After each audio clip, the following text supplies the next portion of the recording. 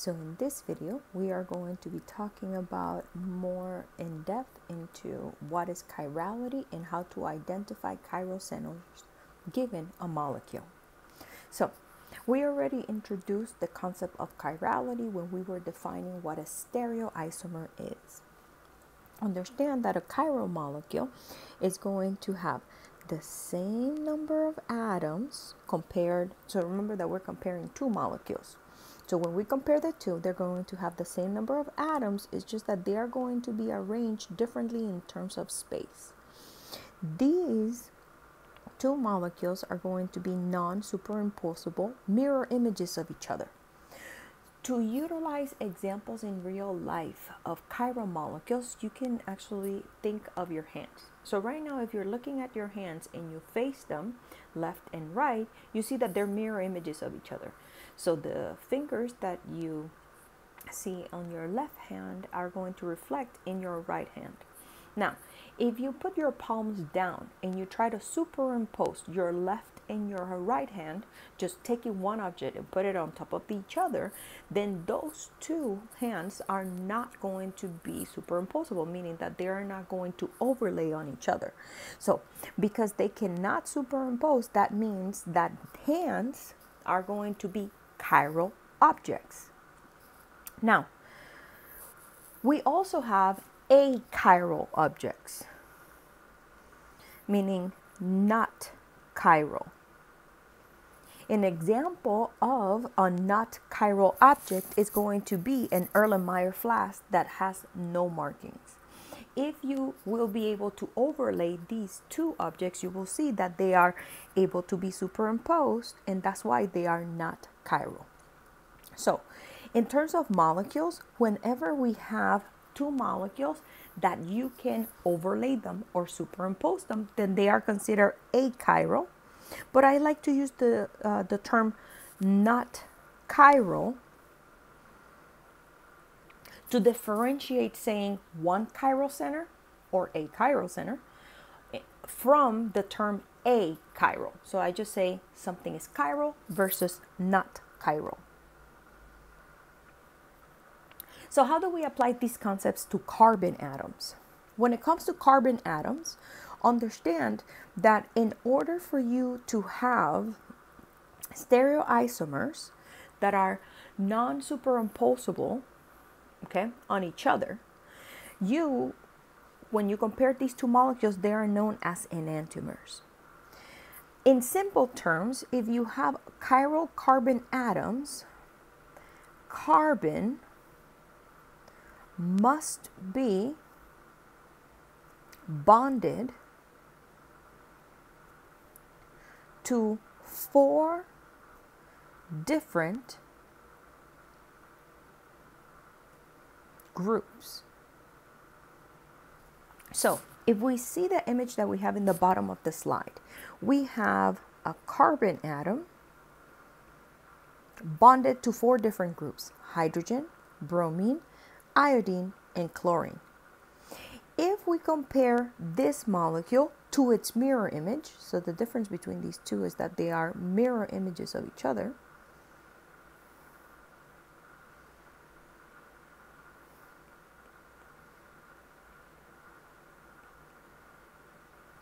we will see that if we pick up the molecule on the right and we try to superimpose it on the molecule on the left, they are not superimposable. So because they are not super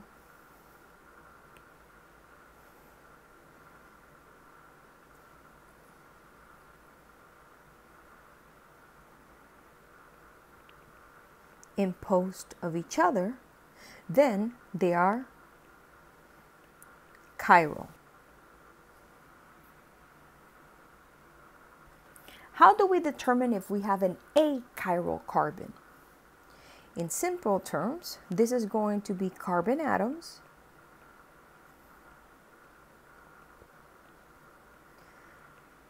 that are attached to at least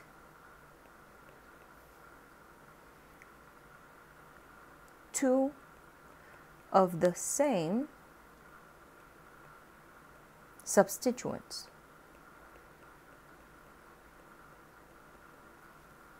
So, if we take an achiral carbon, as is illustrated in the molecule on the left, and we look at its mirror image, if we rotate the molecule that is on the right and try to superimpose it, then they will superimpose, which means that the two molecules are going to be the same structure.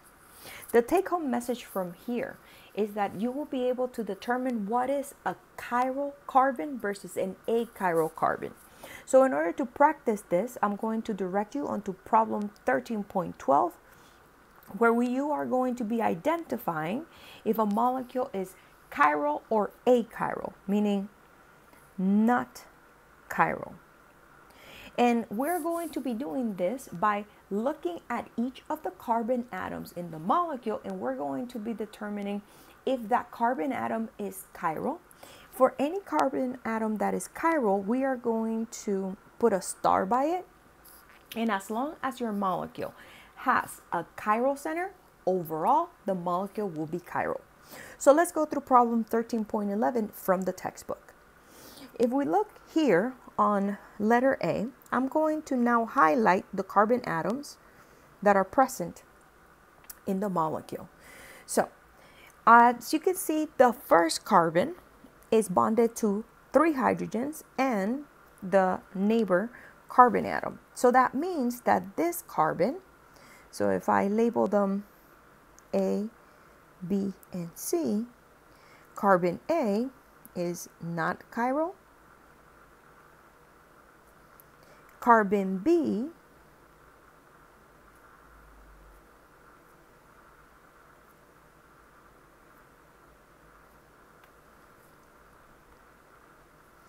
is bonded to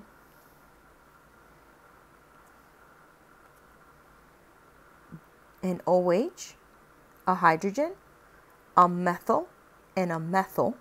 So that means that it is not chiral because it has two whole groups that are the same.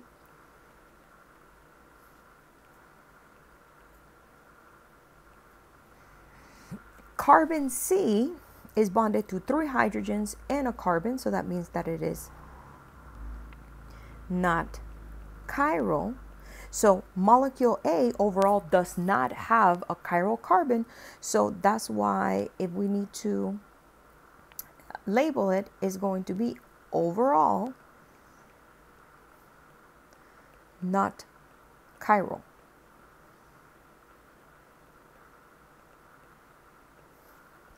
Let's look at uh, example B or problem B from 11 point from 13.11. So I'm going to highlight the carbon atoms in the molecule. We have one right here, one right here, one right here, one right here. So if I label this A, B, C, and D, we have carbon A, carbon B, carbon C, carbon D. So carbon A bonded to three hydrogens, so it's not chiral. Carbon B is bonded to a hydrogen, a bromine, a methyl, and an ethyl group. So that means that carbon C is going to be a chiral carbon, or in other words, a chiral center.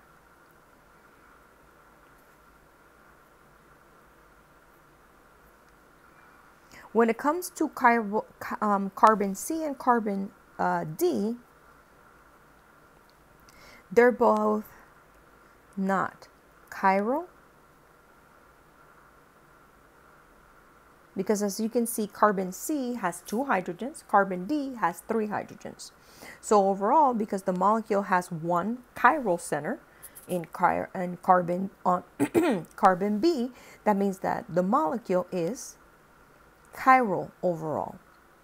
Let's look at uh, the molecule on letter C. We have one carbon, two carbons, three carbons in the molecule. So remember, by definition, in order to have a chiral carbon, you need to have four different groups because the last carbon towards the right has only three electron groups, that cannot be a chiral carbon.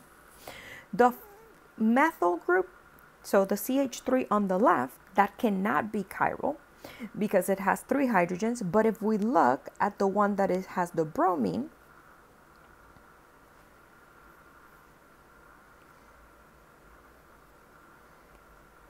just put the star here for the chiral carbon. If we look at the second carbon on letter C, we have hydrogen. We're bonded to this whole group that is different from what we see on the left and it's also bonded to bromine so it has four different groups so that carbon that has the bromine is considered a chiral carbon so that means that the molecule on C I'm just going to erase the highlighted atoms is going to be chiral because it contains one chiral center. I'm going to highlight them so you guys see this is where the chiral center is. This is where the chiral center is. In the last molecule, if we look at all the carbon atoms that are present, we have one, two, three, four, five. So if I label them A, B, C, D, and E, letter A is not a chiral center because it has three hydrogens. Carbon B is not a chiral center because it has two hydrogens. Carbon C is not chiral because it's bonded to two of the same groups, meaning the methyl groups. And then D and E, because they're methyl groups, they're not chiral. So overall, this molecule is not chiral because it does not contain a chiral carbon or a chiral center. So the reason why we need to talk about stereoisomers is because they are important in biological systems. The human body is designed to accept certain molecules in a specific stereoisomer version. So to give you guys an example of why they are so important, specifically in biochemistry, I want to tell you uh, the story of thalidomide. So thalidomide, what is it was a drug that was synthesized in the 50s, and it was used as um, a solution to women that were having morning sickness. So when it was first synthesized back in the day, there were no FDA, there were no trials. So they basically synthesized a drug and they just gave it to humans right away. Now, understand that for a long time, thalidomide was uh, considered a wonder drug because all of a sudden the women that were having um, morning sickness after taking thalidomide were feeling much better. So they were getting alleviated from morning sickness. But then the problem was that thalidomide specifically has a chiral carbon. And this chiral carbon is right here.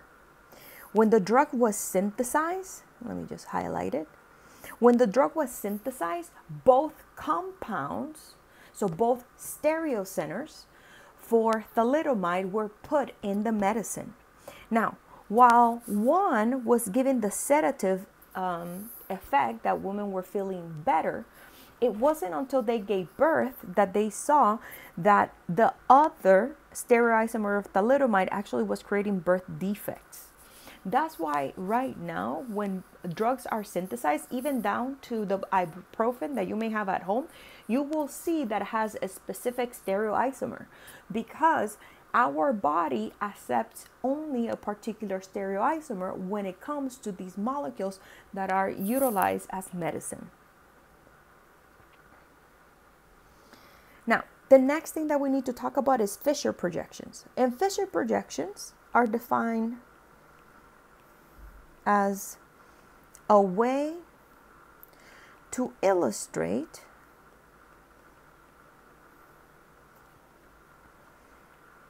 carbohydrates, particularly monosaccharides. So as you can see here, these are the Fischer projections for the monosaccharides glucose, galactose, and fructose. So when it comes to a Fischer projection, pretty much what I want you guys to uh, figure out is that when it comes to this, even though we write it as a plane, these bonds actually mean something very specific. The bonds that we have specifically in the horizontal way, if we look at it from a 3D version, they're actually uh, poking forward. Okay? The bonds that are vertical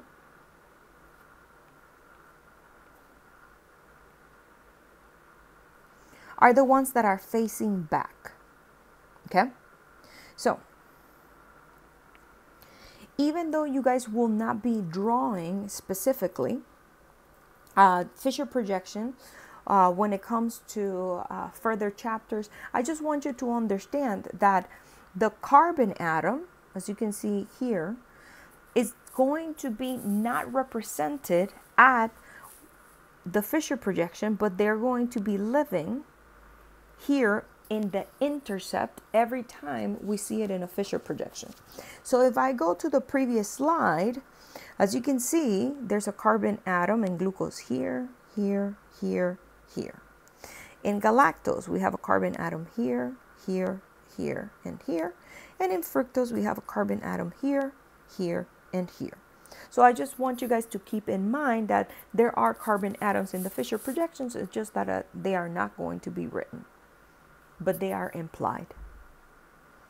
Now, another thing that we have to take into consideration is the DNL notation.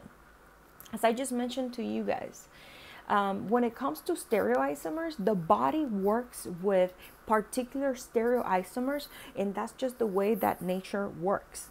So, understand that it is very important, right, that we understand right now with carbohydrates and then in later chapters with amino acids, what is a D and L notation?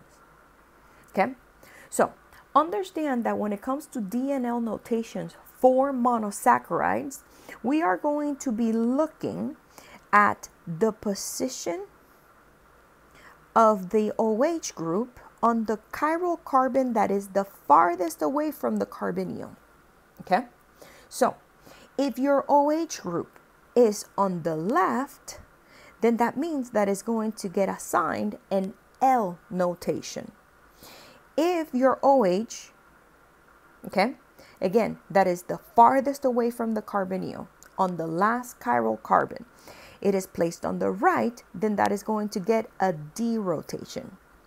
So for example, here we have uh, the following aldotetrose, which is erythrose. And as you can see, I'm going to highlight in red the last chiral carbon. So for L-erythrose, I have the last chiral carbon that is highlighted in red because the OH is facing the left. That's why it's L-erythrose. If we look at D-erythrose, which is going to be the enantiomer,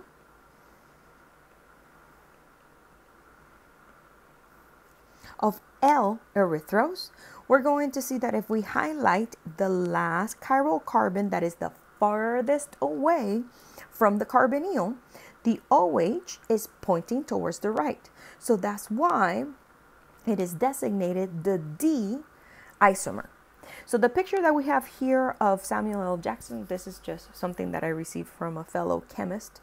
Um, and as you can see, Samuel L. Jackson is facing the left while Samuel D. Jackson is facing the right. This is just a way that we can use an analogy for D and L notation in biochemistry.